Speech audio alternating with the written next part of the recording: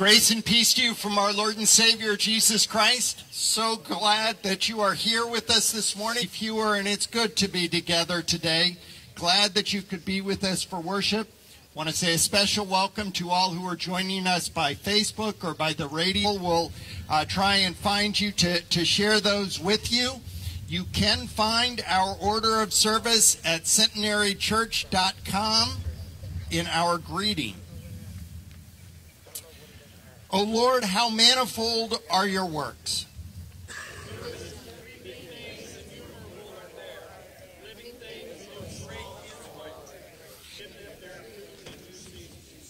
When you give to them, they gather it. When you send forth your spirit, they are created. May the glory of the Lord endure. I will sing to the Lord as long as I live.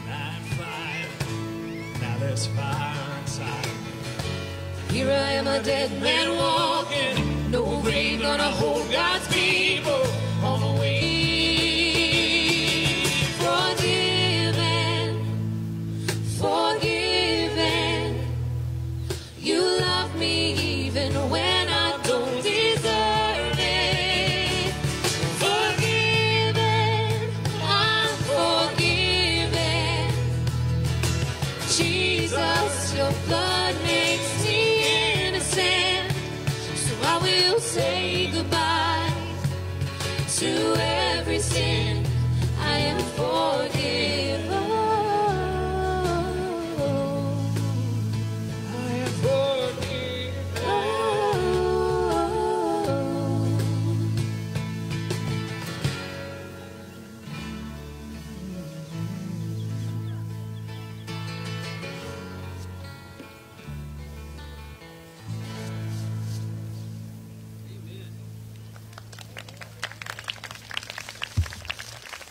praise team. Good morning. Let us join together for our opening prayer. O God, you sent the Holy Spirit to enkindle the zeal of Christ's followers waiting in Jerusalem for his promised gift. Pour the same inspiration on your people here assembled and on the Church of Christ throughout the world. Revive the power of the gospel in our hearts, that it may be to us a sacred trust for the blessing of all creation. Enable your church to spread the good news of salvation so that all nations may hear it in their own tongues and welcome it into their own lives. Protect, encourage, and bless all ministers of the cross and prosper their works and works, so that Jesus, being lifted up, may draw all people unto him, and the kingdoms of the world may become the kingdom of our Lord and of Jesus. Our children's choir and our youth band's helping out.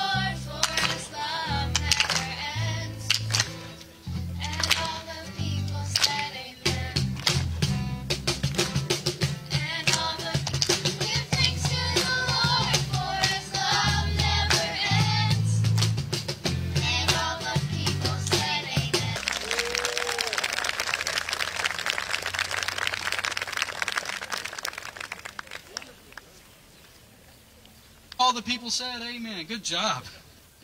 Let us join together for our prayer for illumination.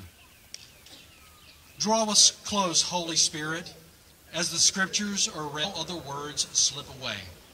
May there be one voice we hear today, the voice of truth and grace. Amen.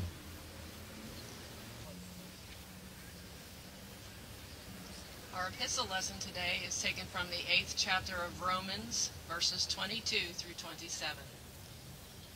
We know that the whole creation has been groaning in labor pains until now, in the redemption of our bodies. For in hope we were saved. Now, hope that is seen is not hope. For who hopes for what is seen? But if we hope for what we do not see, we wait for it with patience. Likewise, the Spirit helps us in our weakness. For we do not know how to pray as we ought, but that very Spirit intercedes with sighs too deep for words. And God, who searches the heart, knows what is in the mind of the Spirit, because the Spirit intercedes for the saints according to the will of God. Our lesson today from Acts is chapter 2, the first 21 verses. When the day of Pentecost had come, they were all together in one place. And suddenly from heaven there came a sound like the rush of a violent wind, and it filled the entire house where they were sitting. Divided tongues as of fire appeared among them, and a tongue rested on each of them. All of them were filled with the Holy Spirit, and began to speak in other languages as the Spirit gave them ability. Now there were devout Jews from every nation under heaven living in Jerusalem. And at this sound the crowd gathered and was bewildered, because each one heard them speaking in the native language of each.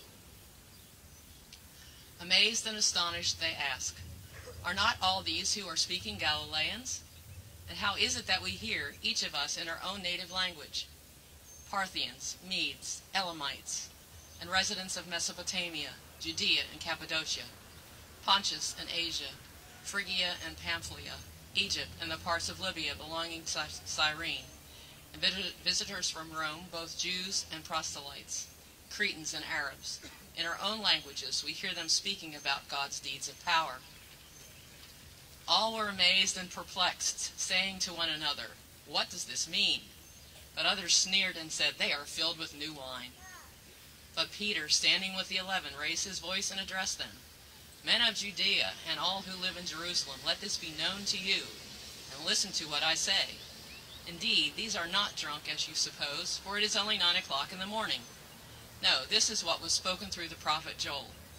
In the last days it will be, God declares, that I will pour out my spirit upon all flesh, and your sons and your daughters shall prophesy, and your young men shall see visions, and your old men shall dream dreams even upon my slaves, both men and women. In those days I will pour out my spirit, and they shall prophesy.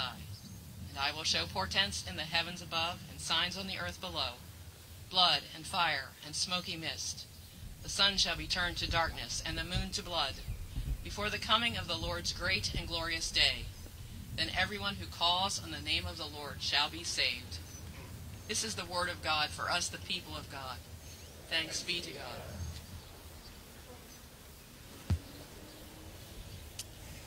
Let us pray. Almighty God, to whom all hearts are open, all desires known, and from whom no secrets are hid, cleanse the thoughts of our hearts by the inspiration of your Holy Spirit, that we may perfectly love you and worthily magnify your holy name. Through Christ our Lord. Amen. Very nearly every parent has had the experience of giving a child uh, a gift that you have shopped for a toy that is just perfect only to find the child plays with something else. Maybe it's a, an older toy that they forgot that they had. Maybe it's a toy that you gave to one of the other children and they wrestle it away. Or maybe it's the box. I remember uh, gathering together with our, our family in South Carolina years ago before Karen and I had any children. And one of my nieces received a, a, a large play kitchen. And while we were assembling the kitchen, uh, she crawled into the box and giggled and giggled and giggled. We finished assembling and she stayed there in the box. Well, all of the adults watched in dismay, shaking our head in consternation at the absurdity of it all.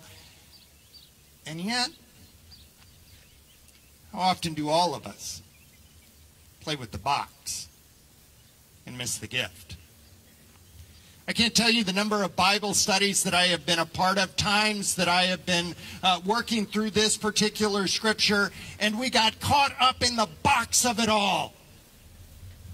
We spent our time talking about the wind and the flames and the speaking in tongues.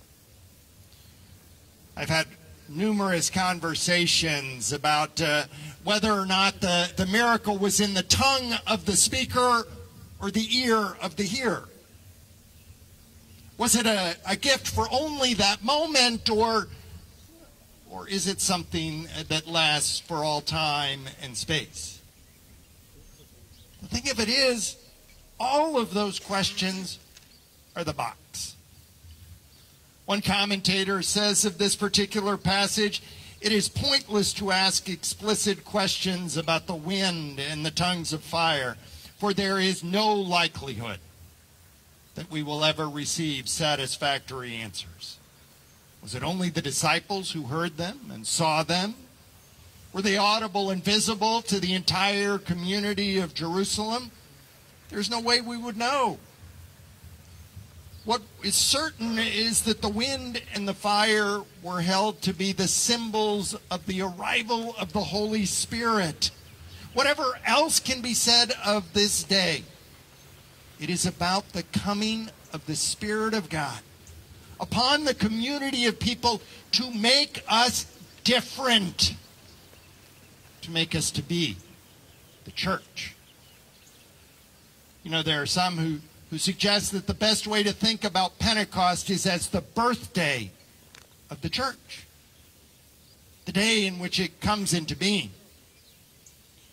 And it's worth noting that Luke, the author of both the Gospel of Luke and the book of Acts, puts this story in the exact same place as the story of Christmas morning. A reminder to all of us that this is a birth. The birth of a new community.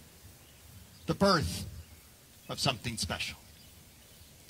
And it is worth noting that when Peter stood before the assembled crowd, he never talked about the tongues of fire. He never talked about the, the mighty wind. He never even talked about speaking in foreign languages. Instead, he talked about dreams. He stood before the assembled crowd and he said, People of Jerusalem, this is what it means.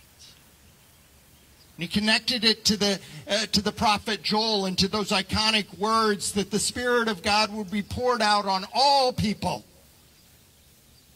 And your young will see visions, and your old will dream dreams. I want to suggest to you that the real gift of this day is not the tongues, it's not the fire, it's not the wind, it is dreams. Because at our heart, that is who we are. The Church of Jesus Christ is the place where the dream of God resides. We are the keepers of the dream. We are the ones who hold on to the dream of what can be. And we follow the greatest dreamer of all. It is God who looked into chaos and dreamed creation. It's God who saw a group of slaves in Egypt and dreamed a kingdom of priests. It's God who saw a group of fishermen and tax collectors and dreamed the church. This reality that, that toppled even uh, the power of Rome.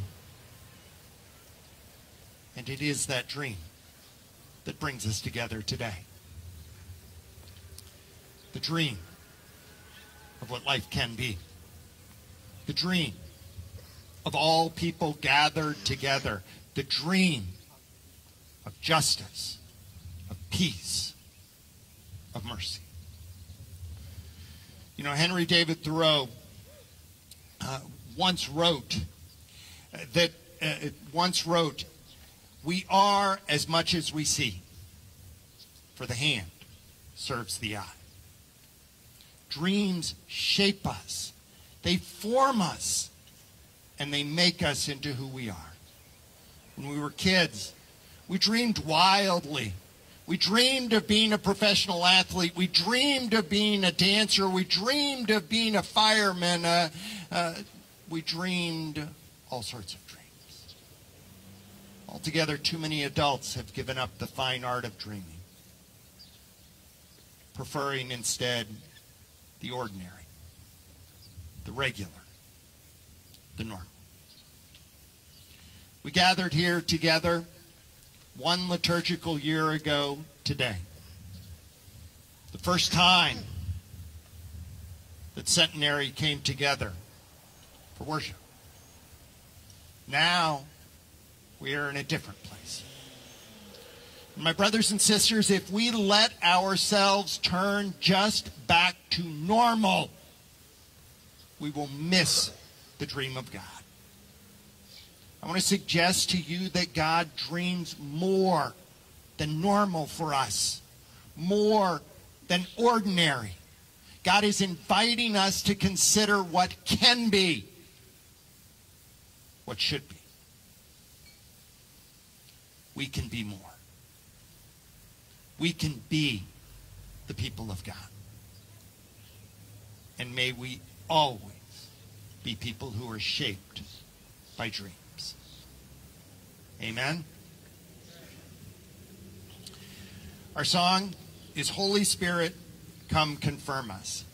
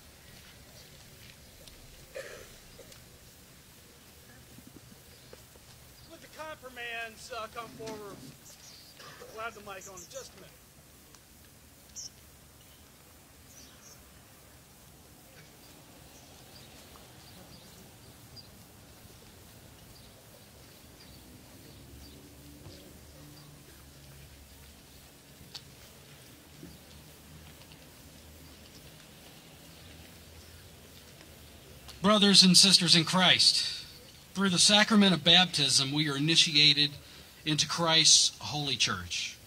We are incorporated into God's mighty acts of salvation and given new birth through water and the Spirit.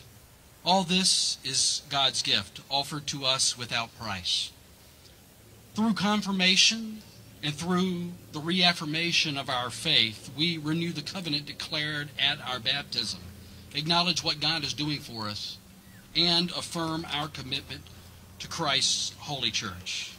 Today, I present Trent Adams, Aaron Anuber, Gabby Anuber, Aubrey Bullock, Emily Friesen, Rebecca Friesen, Grant Leary, Dylan Muse, Emmy Riddick, Alex Stott for confirmation.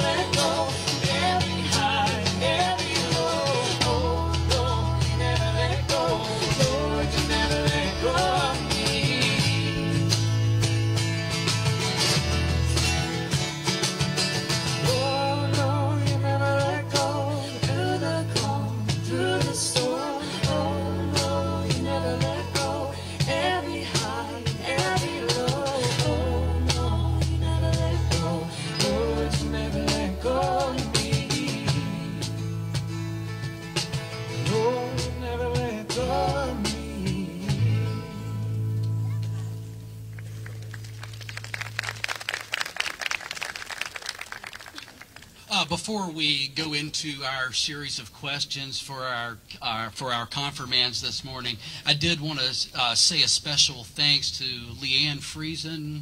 I just saw her somewhere. Uh, she helped out for the weekend when we were up at Camp Don Lee uh, with the confirmands on our confirmand retreat a couple of months ago. And I also wanted to thank uh, Bryce and Grace Detweiler for coming and helping lead worship for us as well.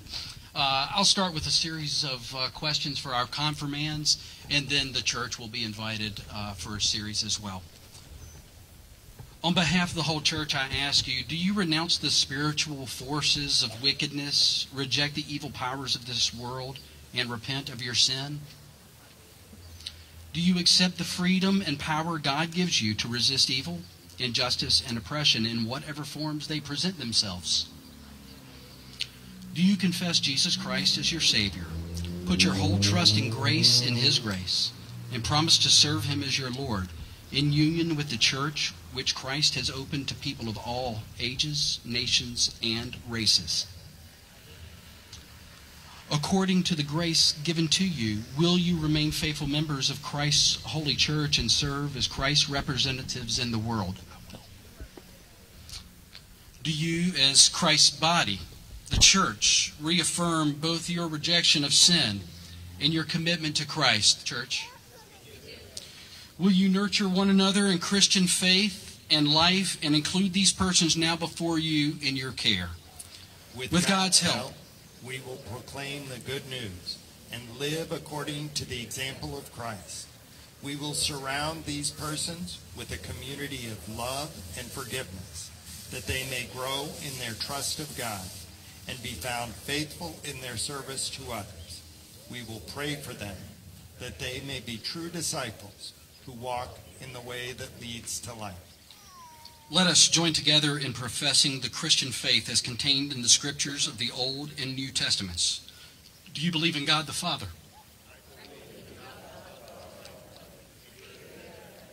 Do you believe in Jesus Christ? He was conceived of the Holy Spirit, born of the Virgin Mary, suffered under Pontius Pilate, was crucified, died, and was buried. He descended to the dead. On the third day he rose again.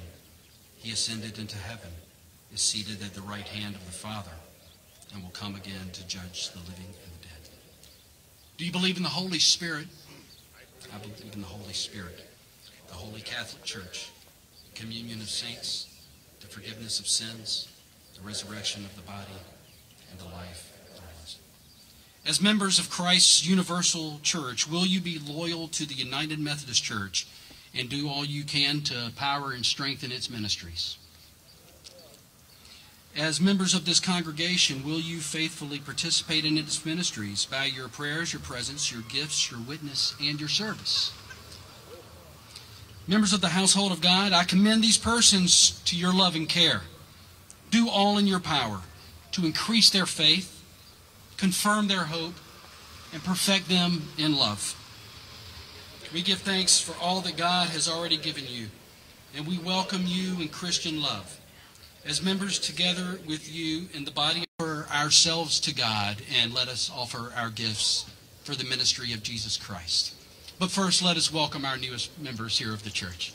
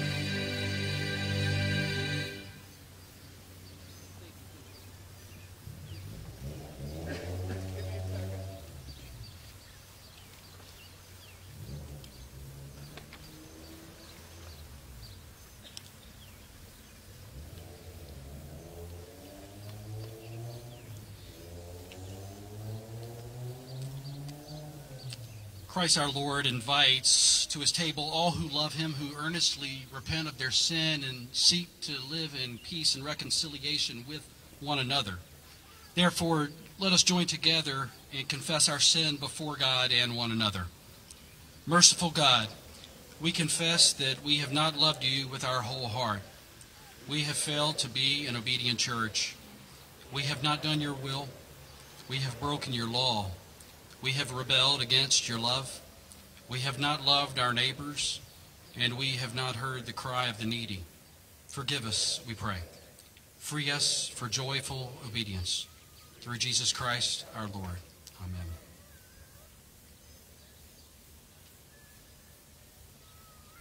Hear the good news. Christ died for us while we were yet sinners, and that proves God's love toward us. In the name of Jesus Christ, you are forgiven. Glory to God. Amen. The peace of the Lord be always with you. Please join me in our great thanksgiving. The Lord be with you. Lift up your hearts. Let us give thanks to the Lord our God. It is right to give our thanks and praise. It is right and a good and joyful thing always and everywhere to give thanks to you, Almighty God, creator of heaven and earth. In the beginning, your spirit moved over the face of the waters. You formed us in your image and breathed into us the breath of life. When we turned away and our love failed, your love remained steadfast. Your spirit came upon prophets and teachers, anointing them to speak your word. And so, with your people on earth and all the company of heaven, we praise your name and join their unending hymn. Holy, holy, holy Lord, God of power and might, heaven and earth are full of your glory. Hosanna in the highest. Blessed is he who comes in the name of the Lord. Hosanna in the highest. Holy are you, and blessed is your Son, Jesus Christ. At his baptism in the Jordan, your Spirit descended upon him and declared him your beloved Son. With your Spirit upon him, he turned away the temptations of sin. Your Spirit anointed him to preach good news to the poor, to proclaim release to the captives, and recovering of sight to the blind, to set at liberty those who are oppressed, and to announce that the time had come when you would save your people. He healed the sick, fed the hungry, and ate with sinners. By the baptism of his suffering, death, and resurrection, you gave birth to your church, delivered us from slavery to sin and death, and made with us a new covenant by water and the Spirit.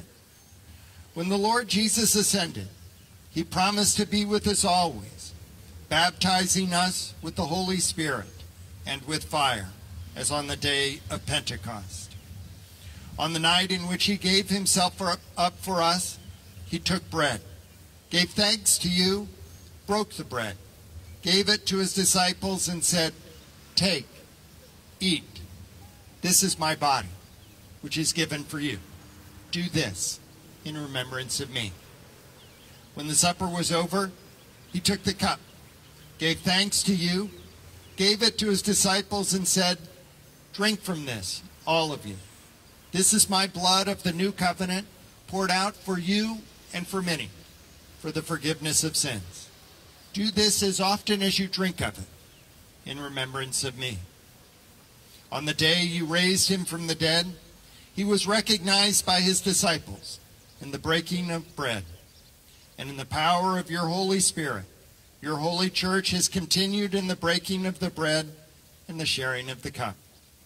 And so, in remembrance of these your mighty acts in Jesus Christ, we offer ourselves in praise and thanksgiving as a holy and living sacrifice in union with Christ's offering for us as we proclaim the mystery of faith.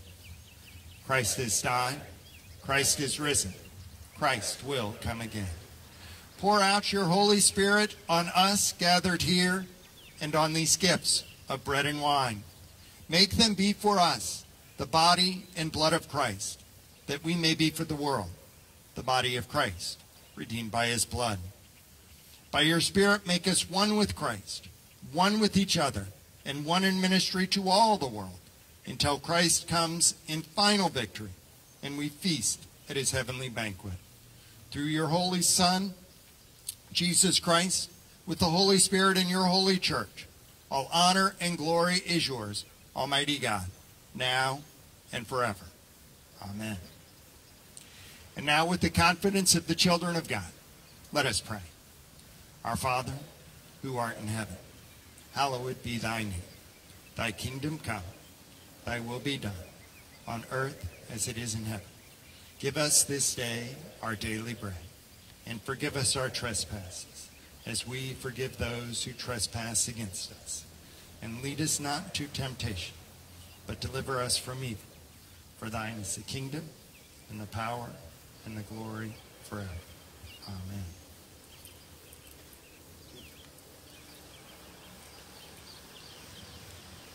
When we break this bread, we share in the body of Christ.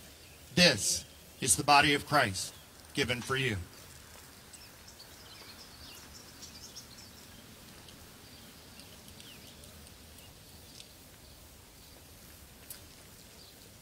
And the cup over which we give thanks is a sharing in the blood of Christ. This is the blood of Christ given for you.